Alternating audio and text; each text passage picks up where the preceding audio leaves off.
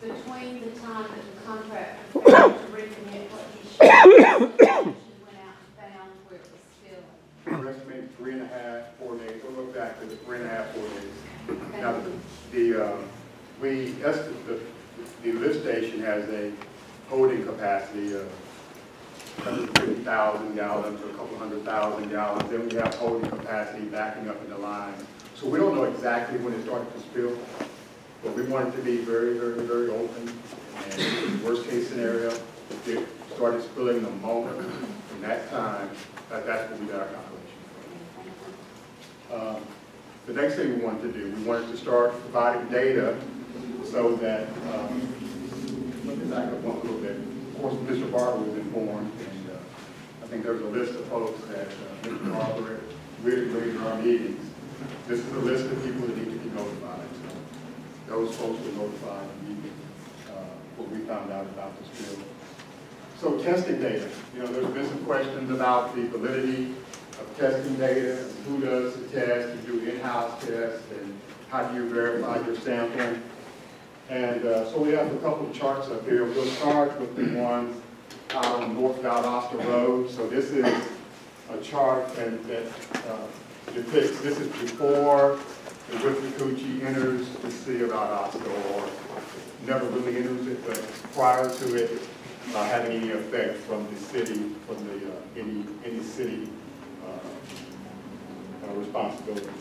So uh, this is an annual, this is a one-year chart from January of 2019 to December 2019.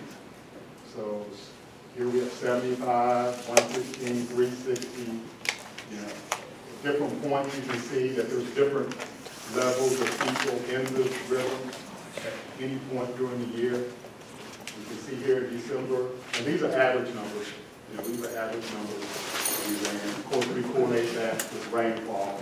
You can see have an increase in rainfall, some, you know, we correlate this spike with increased rainfall here. Um, This one is the one that the folks from Florida are probably most uh, most concerned with. This is after it's gone through the city of Valdosta, Highway 84, uh, just before it leaves Lowndes County. And you can see the numbers that we've run there for the uh, fecal numbers that have in the river every month during that period of time. So, uh, you know, we had a question about the validity of our laboratory. You know, we have a certified lab, uh, state certified lab, technicians. uh, But, you know, we want to verify our numbers too. So, after we ran several of our numbers in the month of December, and we started to hear that folks may not be uh, comfortable with us running our own numbers, we sent those numbers out to a lab in Tallahassee, um, sorry, in Thomasville. And uh, we got very, very similar numbers. We're confident in our folks, it gave us some, uh, it gave us a level of confidence in our group to make sure that they're doing what they do as well. And of course, this chart, this overlay of, uh, of the blue is coming into Valdosta, and the green is coming, is leaving Valdosta. The condition of the river each month during the calendar year.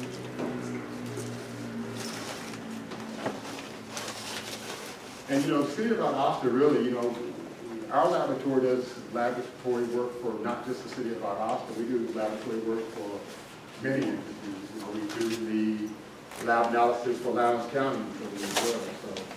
uh, And uh, actually, our water plant, anybody to understand, the stuff, we those. All right, uh, kind of nice walkthrough. Quick question for you. How much time elapsed from the time you realized the spill was headed Withlacoochee to when you notified the counties downstream? How much time elapsed there? Uh, The Florida counties. I got a message from Darryl at four thirty, by five thirty, that listing that we agreed on had, I notified. So then you guys depend on the local counties downstream to disseminate that information out. From, from prior meetings, these quarterly meetings we've had, sir, we agree, I think the first one that I, I would assemble this listing of names, and, uh, I will make sure all those were notified. so I knew. Maybe just suggest and get with local emergency management and the other counties downstream and do robocalls for those around the river, river areas. Because that's what, that's what was decided. Yeah, it's pretty detrimental when you're in the water and don't realize it's there. I have a question. Did you notify Brooks County?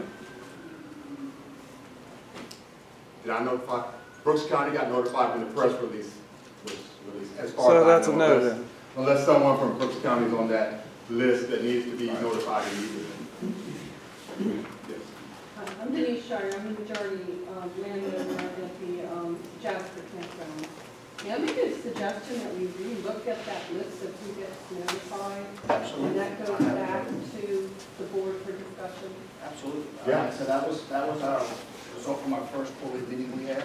because it Intended to center around notifications for the North Florida folks, so that's what we came up with at that time. But absolutely happy to add to that list, modify that list, because it is a year old now, it's five It's also years. my old. understanding, sir, that some of that flow actually went north into the river and, and affected folks in Georgia that were actually north of the site. I think that river flows south. It does flow south, but I understand that. It's a slow flow. There were some people at high equal right just north of The allegation, of course, is that Mr. Mayor, in the city, may I? it's flowing. So, um, just want to kind of open up a dialogue. I a little know, I know, I know it's the list of questions. The risk task force in our counties have done. Today, earlier today, They really need to We do met with confirmatory our genetic analysis. legislative delegation, Senator Bill Montford, uh, Representative Chuck Brannan, and, and, uh, Representative Jessica Stroh, in our district for our state legislature in, in Madison at one o'clock today, along with EPA, representatives from EPA, representatives from Florida Department of, uh, Environmental Protection, Suwannee River Water Management District, Department of Health, Florida Department of Health, um, Unfortunately, Georgia EPD uh, decided not to attend, for whatever reason, we don't know, We're a little bit disturbed about that.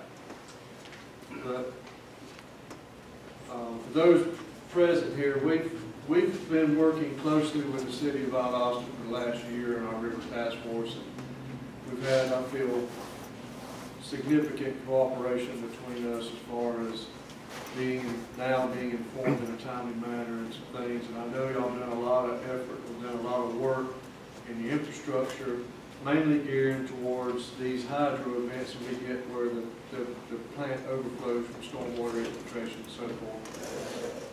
Um, It's unfortunate that we're here tonight to talk about, and, and just from our standpoint, um, I'll be frank, oversight, a lack of oversight, and, um, quality control on the city of Valdosta's part when it comes to your contractors that are out there doing your work